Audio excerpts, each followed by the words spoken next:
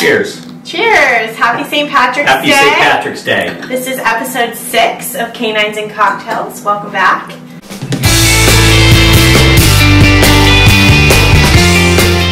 We are here to talk about some spring seasonal allergies today and how to combat that for your pets. And we'll just go ahead and get into it. Let's take a sip of our green beer for St. Patty's.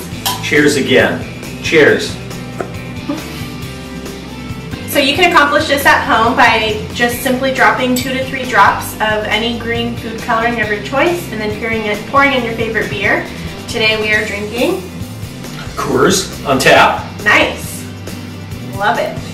It is pretty good. So the month of March brings with it not only St. Patrick's Day but the start of the spring season. With the spring season comes a lot of pet seasonal allergies. Those types of allergies are easy to spot if you have a dog that's prone to getting um, itchy, scratchy skin. Maybe they bite and pick at their paws a lot, lick their paws. Um, even if they have shaky ears, those are all signs of allergies.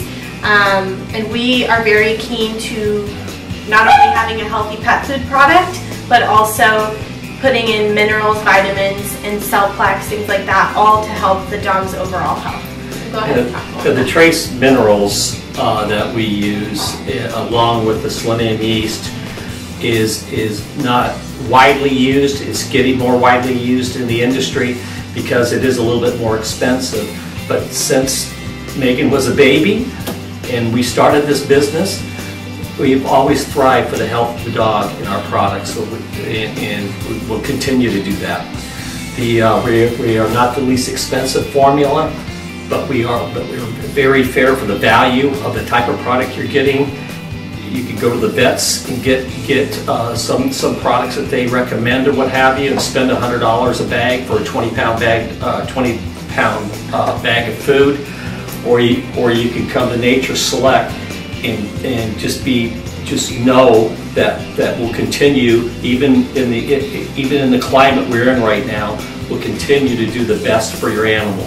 The the uh, trace minerals, selenium yeast that we use in the products helps promote not only uh, uh, to protect the dog from allergies, but things for the uh, for the kidneys for the dog, for the brain function for the dog, the overall health of the dog.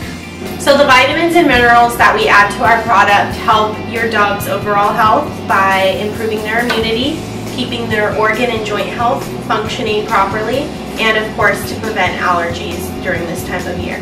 Usually our cold water recipe is what we recommend the most for our dogs that have sensitive skin, itchy skin, or more prone to allergies in general. But of course, all of our recipes have a purpose for any dog of any breed or age. Just depends on what you're trying to help their health with.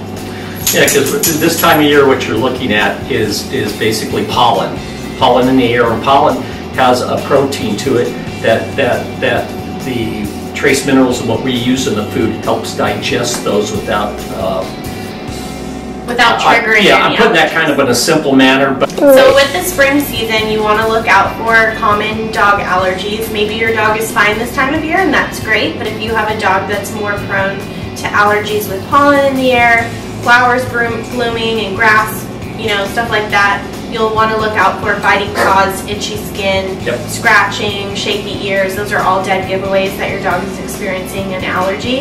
Um, and again, if you are uncertain or maybe worried about your pet, it's always a good idea to take them to the vet just to rule out anything more serious than an allergy. very well said. Okay, happy St. Patrick's Day. Happy We'll St. next Patrick's Day, everybody. Cheers. See you next month.